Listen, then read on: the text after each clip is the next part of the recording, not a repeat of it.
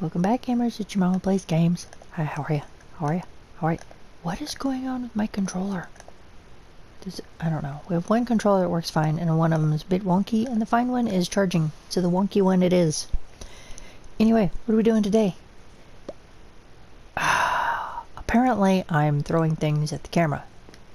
Hi. Hey! There we go. So, I measured the distances, you know, roughly. That's supposed to say east. So, yonder is the closest village.